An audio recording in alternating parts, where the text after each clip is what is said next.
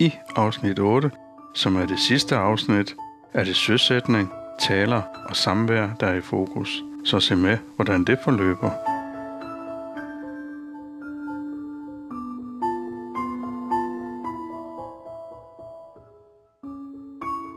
Ja, jeg vil gerne på vegne af Lillebælts Makkelag og øh, Middelfart Skibs- og Bådbyggeri byde jer alle sammen velkommen til øh, søsætning her. Øh, det var jo en stor begivenhed i øh, gamle dage, når man søsatte fiskekutter her fra værftet. Og i nyere tid, der, øh, der er det jo ikke blevet til så mange, men det er i hvert fald den sjette båd, som smakkelavet søsætter i vores 20-årige historie. Så lidt er der jo kommet fra hånden. Jeg vil gerne øh, takke en hel masse mennesker, og ikke mindst øh, medlemmerne af, af Smakkelaget. Det er næsten tre år siden, vi øh, lagde køl og, eller strak kølen og, og satte stævnen op. Jeg vil også gerne sige tak til øh, Marsvinslaget, som øh, gav os den her opgave. Jeg ved godt, I var under kraftig beskydning, men jeg synes, at det var modigt af, af, af Marsvinslaget at gå ind i projektet, og vi har haft et godt samarbejde omkring det. Allerede i 2009 øh, søgte man de første fonde for at få øh, penge til, til Jollen. Det gik ikke så godt, men øh, vi fik der nogle tilsavn de første år der, og dem har vi levet videre på, men det var først der fiskerilag. Og nu har jeg lovet at reklamere for EU. Okay, men tak til, øh, til øh, Marsvinslaget for, for det gode samarbejde, vi har haft omkring det her. Så velkommen alle sammen, og så er der jo øh, spisning over i hallen bagefter, og det kan vi vende tilbage til. Men endnu en gang velkommen og god aften. Tak for det. Jo. Vi i øh, Friluftsrådet, vi vil meget gerne rose øh, Lillebæltsværftet Gamle Havn, som har bygget denne fantastiske smak smakkejolle.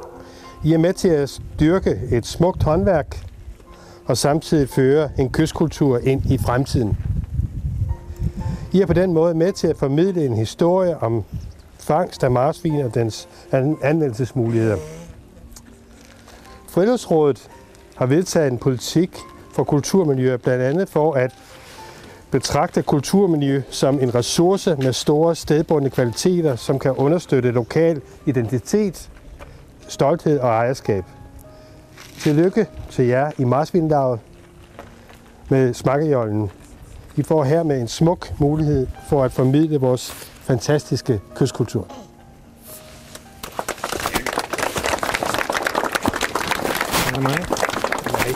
Yes. Allerførst så skal jeg på Marsvinlavs vegne takke for modtagelsen af denne velbyggede jolle. Og ideen til at bygge denne jolle blev undfanget af gode folk i Marsvinslaget i forbindelse med lavets 50 års jubilæum. Der skulle gå nogle tid med at omsætte ideen til virkelighed. Der skulle bygges en smakkejolle, som de blev bygget her på værftet i stedet for, øh, på stedet her for mere end 100 år siden.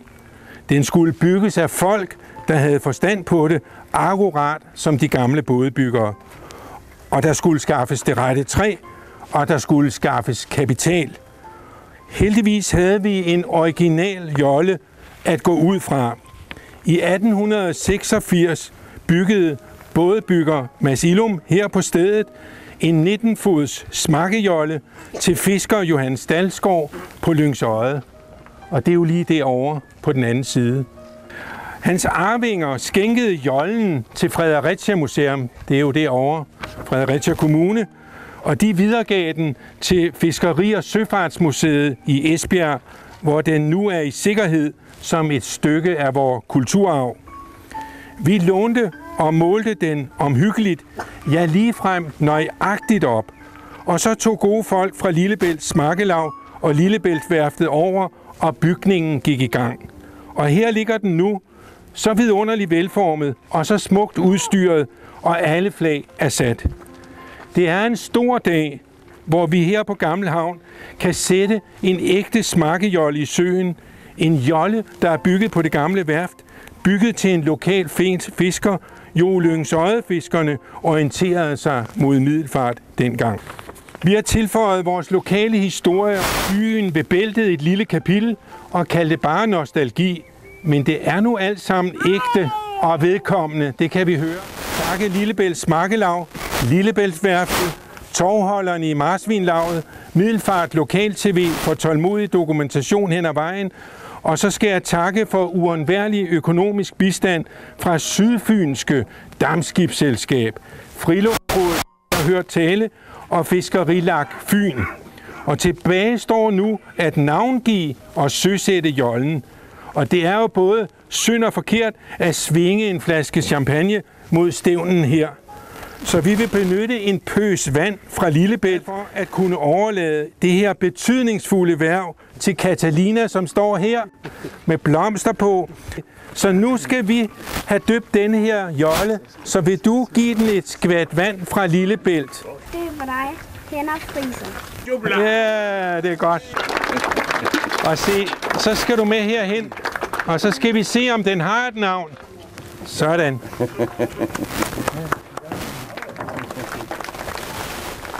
Tak for det. Det var sødt af jer. Og så skal den jo i vandet, Bent, ikke? Jo.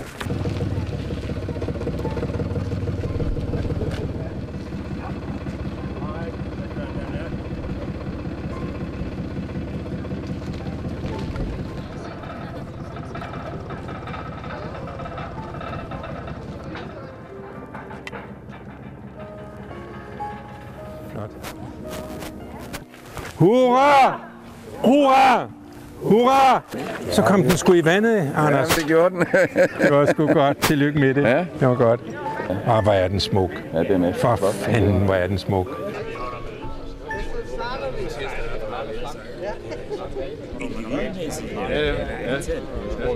Det er jo tre år siden, den har stået.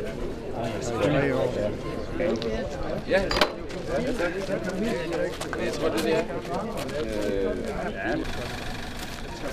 Nej, men altså, når det er et problem, så.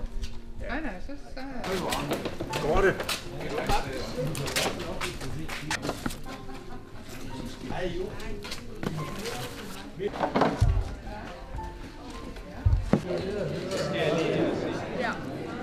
så vi ikke sætte noget på. Har du fået noget lige, Kasper?